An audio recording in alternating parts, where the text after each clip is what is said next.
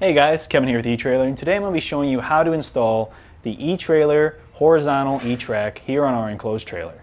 So the installation of your eTrack is fairly simple. It's really just a lot of planning ahead of time, finding out where your studs are in your trailer, making sure that you're making contact with those, that way your eTrack is properly secured.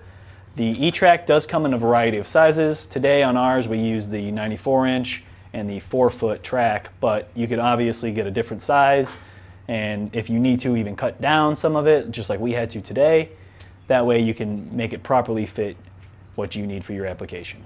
To start our installation of the E-Track, uh, we're going to draw up some lines so that when I place it up against the wall here, I kind of know exactly where I need it. Our neighbor today wants it to be about six inches down from the trim here. So I'm just gonna go ahead and measure along our trim all the way down just do little notches probably every foot or so. That way we can make sure that we're staying level with our trailer, making it look nice. So because this trim piece is already put up and kind of in the way from where our E-track is going to go, I'm going to go ahead and just cut this one little section out. That way we can have our E-track lay exactly across the wall here. So I'm just going to take my multi-tool.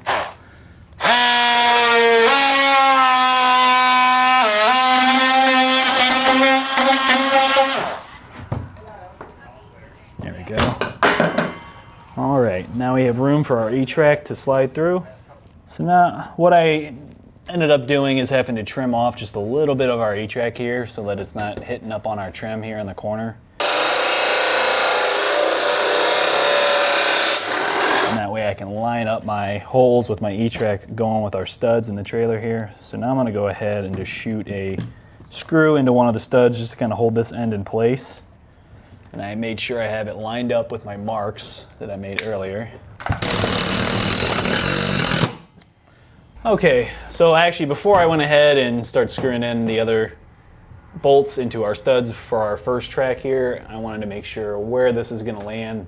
That way I can make sure that this is gonna hit our stud, which I'm just gonna have to drill a self-tapping screw right through our metal here and not use one of the factory holes.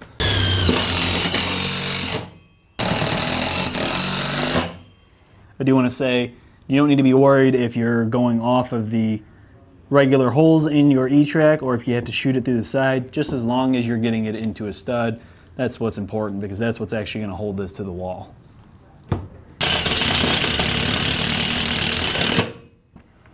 So now that I have my main uh, bolts into our stud here, I'm also going by, uh, going back by and just doing the ones next to it.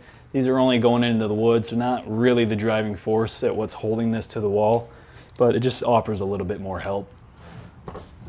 If you really wanted to go the extra mile, you could go ahead and just hit every single hole too.